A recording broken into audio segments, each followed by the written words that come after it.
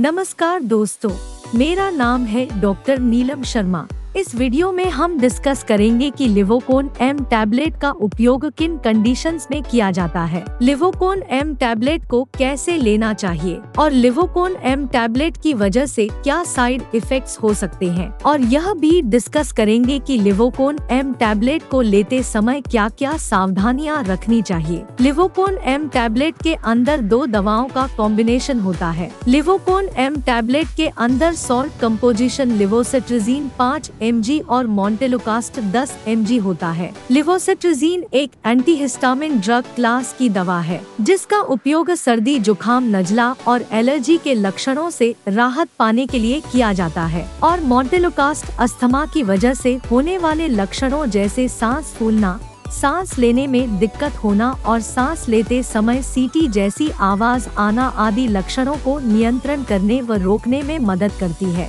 लिवोकोन M tablet का उपयोग asthma होने पर, सर्दी, जुकाम, नजला और एलर्जी के लक्षणों को ठीक करने के लिए लिवोकोन एम टैबलेट का उपयोग किया जाता है। एलर्जी या नजला के लक्षण जैसे नाक से पानी बहना, आँखों से पानी आना, आँख, नाक या गले में खुजली होना छींक आना और शरीर पर कहीं खुजली होने पर आदि लक्षणों से राहत पाने के लिए लिवोकोन एम टैबलेट का उपयोग किया जाता है। डॉक्टर क्रोनिक अर्टिकेरिया होने पर यानी त्वचा पर पुरानी खुजली की समस्या होने पर, त्वचा पर एलर्जी होने पर और त्वचा पर रैशेस होने पर भी लिवोकोन एम टैबलेट को लेने की सलाह दे सकता है। मधुमक्खी या किसी अन्य कम जहरीले जानवर के काटने की वजह से हुई त्वचा पर रैशेस सूजन और खुजली को ठीक करने के लिए भी डॉक्टर लिवोकोन एम टैबलेट को लेने की सलाह दे सकता है। साइड इफेक्ट्स की बात करें तो वैसे तो ज़्यादातर व्यक्तियों में लिवोकोन एम टैबलेट की वजह से कोई साइड इफेक्ट्स नहीं होते हैं। लेकिन कुछ परसेंट व्यक्तियों में लिवोकोन एम टैबलेट की वजह से कुछ सामान्य साइड इफेक्ट्स हो सकते हैं। जैसे मुँह में सूखापन होना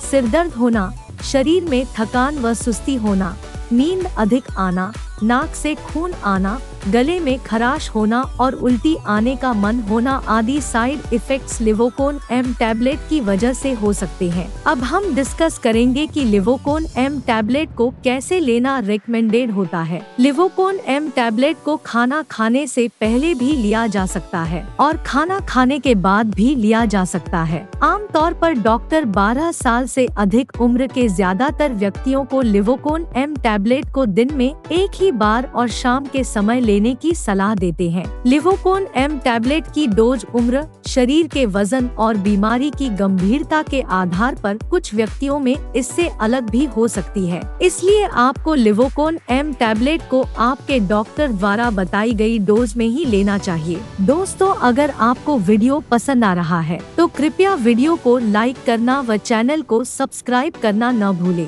अब हम डिस्कस करेंगे कि लिवोकोन एम टैबलेट को लेते समय क्या क्या सावधान सावधानियाँ रखनी चाहिए। लिवोकोन एम टैबलेट के साथ आपको शराब का सेवन नहीं करना चाहिए। वैसे ज़्यादातर व्यक्तियों में लिवोकोन एम टैबलेट को लेने के बाद ज़्यादा नींद नहीं आती है। लेकिन यदि किसी व्यक्ति को लिवोकोन एम टैबलेट को लेने के बाद नींद अधिक आती है तो ऐसे व्यक्तियों को ड्राइविंग नहीं करनी चाहिए और ऐसी मशीनों पर काम भी नहीं करना चाहिए, जिन पर काम करने के लिए अधिक मानसिक सतर्कता की आवश्यकता होती है। अभी इसके बारे बारे में पर्याप्त डेटा अवेलेबल नहीं है कि लिवोकोन एम टैबलेट प्रेग्नेंट महिलाओं को नुकसान पहुंचाती है या नहीं। इसलिए ज़्यादातर डॉक्टर प्रेग्नेंट महिलाओं को लिवोकोन एम टैबलेट को न लेने की ही सलाह देते हैं और स्तनपान करा रही महिलाओं में लिवोकोन एम टैबलेट माँ के दूध के ज़रिए बच्चे तक पहुँच सकती है और दूध पीने वाले बच्चे में साइड इफ़ेक्ट पैदा कर सकती है। इसलिए स्तनपान करा रही महिलाओं के लिए लिवोकोन एम टैबलेट का सेवन करना रिकमेंडेड नहीं है।